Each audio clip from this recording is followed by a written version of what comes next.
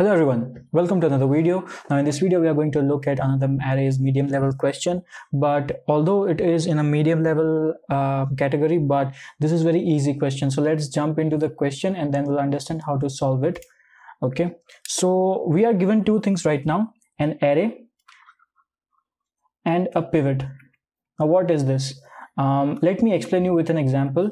So I will be taking the second example because the first example is really long so the second example is minus 3, 4, 3, 2. So let, let me write it down here.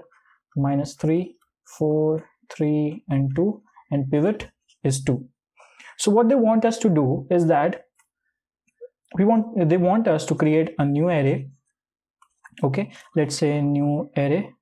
Okay, in that all the elements that are smaller than pivot should be should come to the left of that and all the elements which are greater than pivot should come to the right of that that is if we see um, minus 3 okay that is smaller than 2 so 4 is greater than 2 okay. So i will write it here.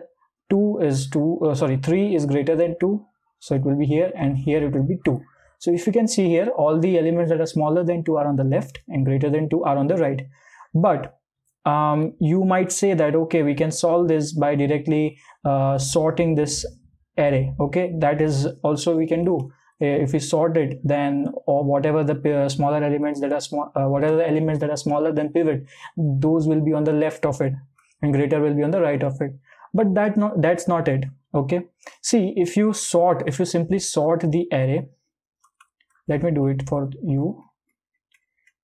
Your array will look like this okay? But we want to maintain the order of the original array.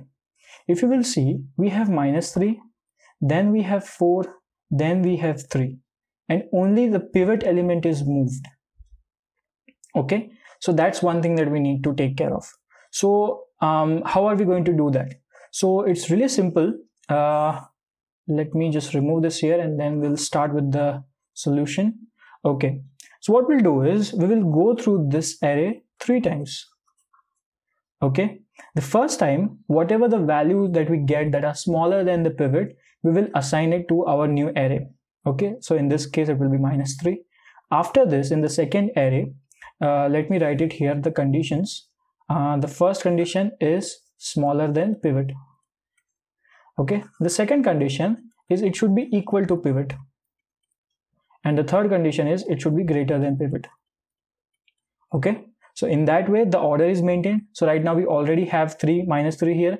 So let's say what are, what are the elements that are equals to pivot? So it is 2 okay. So we have written that. And now we'll see minus 3 2 we already have. And we'll go through like whatever the elements that are greater than pivot. So here 4 and 3 okay. So it is really really that simple. It, it has nothing to do with there is no complexity over here okay if you have understood this then you can start writing your code. It is really simple. We just have to go through the loop uh, go through the array three times and apply these conditions.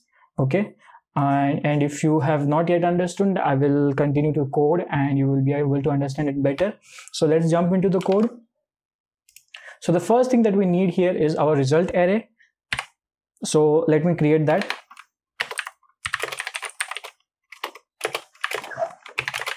and the size is going to be same as uh, our given array.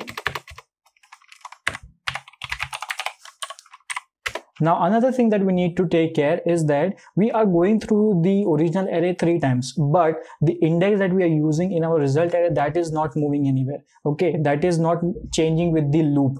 Okay? That is going to remain as it is. So we'll uh, declare it outside our uh, for loop. So let me create this as index. Okay and let's go through the loops. So our first loop uh, that is smaller than pivot. So let me create that. Okay. We'll check if i is less than given pivot. Okay. In that case what we'll do is we will add it to our result at position index. That is going to be i. Okay. And we also need to increment our index. So uh, we will do it. Okay we'll do it here only. Okay. So our first loop is done. Second loop is equals to pivot. So for that what we'll do is okay if i is equals to pivot. In that case index is going to be i. Okay. And the last condition is that it should be greater than pivot. For that if i is greater than pivot. In that case result index increment equals to i. Okay? And our result array is ready so let me just return this array and let me submit this.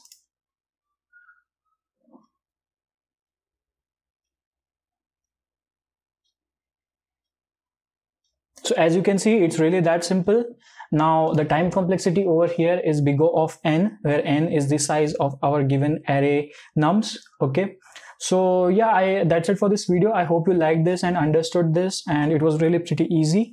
And uh, you can expect these kind of questions in medium level difficulty where it says medium but it is not exactly a medium level. It can be solved using uh, whatever you have learned in easy level but just slightly changing the logic. Okay? So yeah do let me know if you have any other problems for me to solve from any other platform. I will see you in the next one. Till then keep coding